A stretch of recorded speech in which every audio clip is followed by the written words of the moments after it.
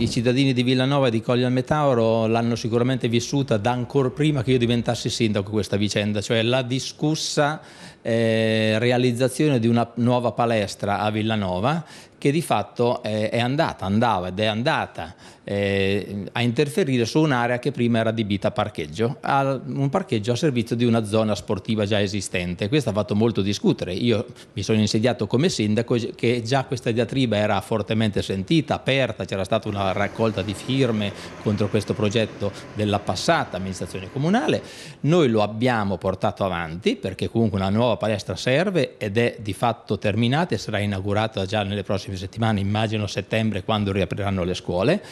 però abbiamo ritenuto utile, abbiamo fatto di tutto per realizzare vicino a questa palestra dei parcheggi che possono sopperire alle reali esigenze che ha quella area sportiva e quella zona. Ci siamo riusciti, dopo lunghe trattative, lunghe discussioni, due sere fa siamo andati in Consiglio Comunale, abbiamo approvato una variante che prevede un'area edificabile di fianco alla palestra, ma diciamo eh, a scomputo di questo, che è una, un po' un'agevolazione tutto sommato, giustamente, che noi facciamo abbiamo dei privati che gli consentiamo di realizzare lì dei lotti edificabili, però loro ci lasciano gratuitamente da subito in utilizzo e tra un anno in proprietà dei terreni appunto ceduti al comune che eh, sarà nostra cura trasformare in parcheggi immediatamente come area sosta senza andare proprio a fare un nuovo parcheggio, proprio perché l'area ancora non è di nostra proprietà. Tra un anno poi, quando sarà di nuova proprietà, realizzeremo un vero e proprio parcheggio per 60 posti auto